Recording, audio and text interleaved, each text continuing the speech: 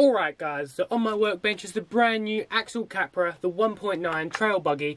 This is my favourite RC release this year, and this Ultra RC video is going to be all about this thing, so let's crack right into it.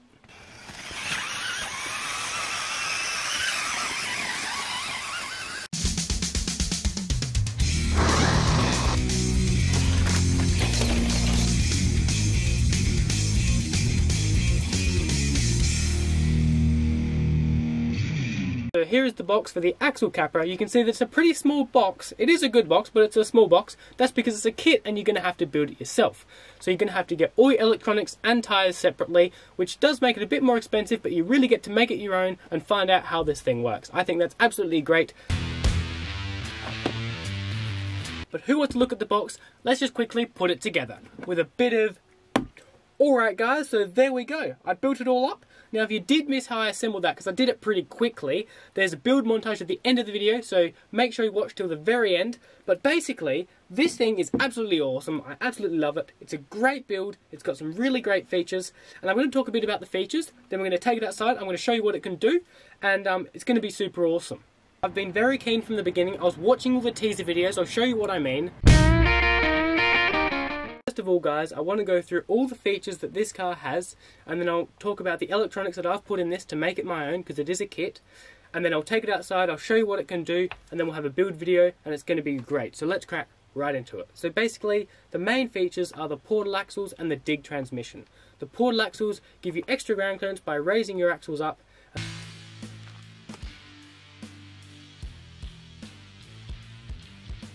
only do the portal axles give you extra ground clearance, but they also stop torque twist completely. That's because the, the drive shaft inside the axle here is spinning the opposite direction to what normally would because it has two gears at the end. So what that means is because it's got lots of suspension here, normally, because the motor's inside the chassis here, the drive shaft's spinning the opposite direction.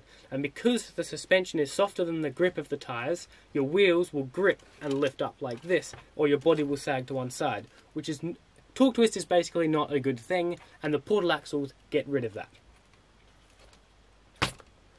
So with the dig transmission, you can disconnect the rear axle from your drive shaft, so you can roll and you're basically front wheel drive. Or you can lock it, which means you've got a brake, hand brake on the rear axle. And what that allows you to do is have a much sharper turning circle. Now it does have 45 degrees of turning already, and which is all you need, but really it's great that it comes with that extra feature. Now it's not really necessary because I'm going to be using this as more of a trail truck, but for actual proper crawling, that's a great feature and it's awesome that it comes with that.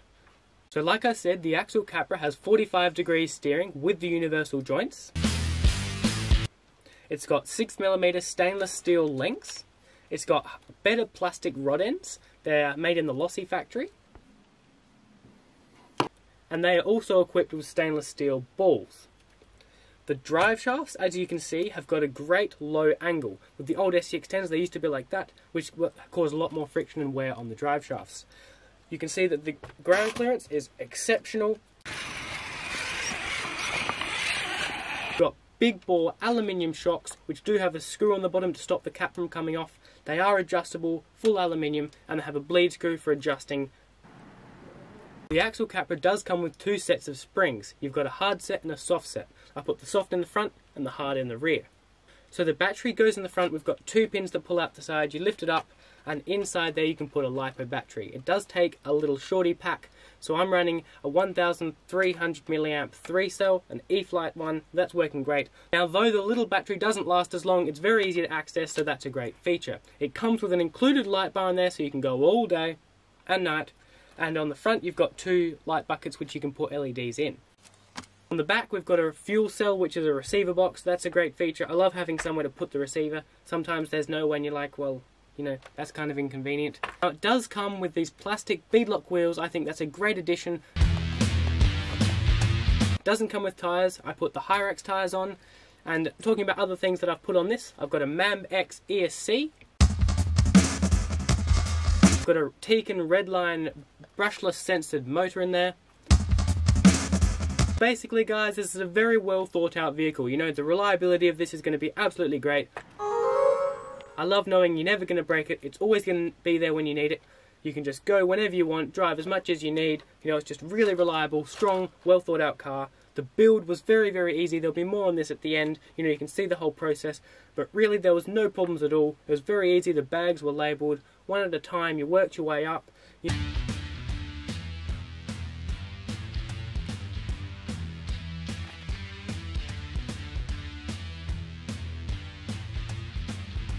You know, you did the axles, the drive shafts, the links, the shocks, all separate bags, work your way together, and at the end you piece it all up, and you've got a very reliable, strong car. I can imagine in a few years this is still going to be going very, very strong. I think you get the picture that I absolutely love this thing. Let's take it outside and I'll show you what it can do.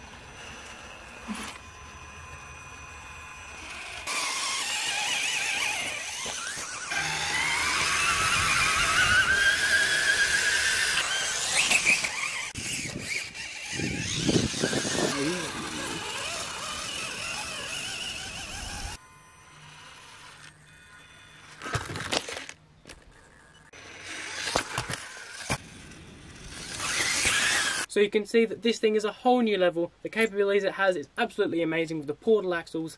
And um, multiple times I thought, I wonder if it can get up that. And yep, of course it can get up that. It's a whole new level. And, Ah. You know, for me, guys, if I can only have one remote control car, this would be the one. You know, it's just super reliable. It is a crawler, you know, but really, I think it's got it, it's going to be more capable than that. As far as the price, this thing isn't the cheapest, considering you have to buy all the electronics and tires separately. You know, but really, you can only drive one remote control car at a time. And if you have to drive one, I'll definitely drive this thing. So that makes it worth it. And if you want to know how I built this, let's roll the montage now.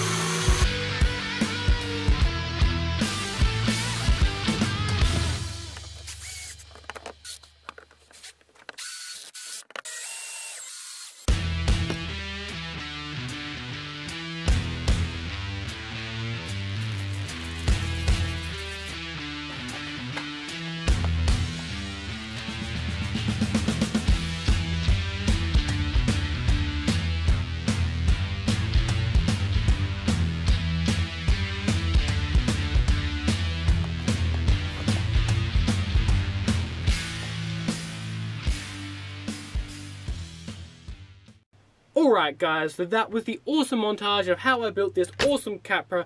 If you like this awesome Ultra RC video, there's lots of other videos on my channel, so please consider checking them out. There's going to be more on this thing as well, so definitely subscribe and notifications so you don't miss that. If you like the video, give it a thumbs up, comment down below. I'm interested to hear what you think about this thing. But thanks for watching, and I'll see you around later.